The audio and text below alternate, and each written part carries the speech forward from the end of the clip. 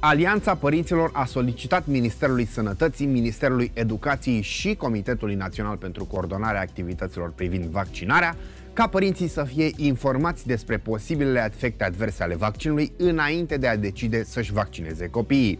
Mai precis, aceștia cer autorităților ca pe declarația de consimțământ informat pe care părintele o va semna înainte de vaccinarea copilului să figureze următoarele informații. Vaccinurile anticovid sunt seruri experimentale aflate în studiu clinic de faza a treia, care se va încheia la 31 decembrie 2023.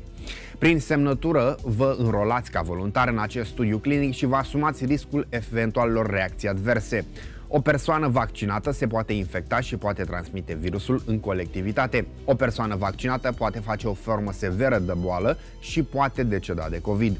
Copiii prezintă un risc statistic zero pentru COVID-19. La tinerii vaccinați, S-au înregistrat frecvente cazuri de miocardită, infarct, tromboze și decese, motiv pentru care Pfizer a inclus miocardita în prospect ca efect secundar posibil, iar AstraZeneca a inclus decesul în prospect ca efect secundar posibil.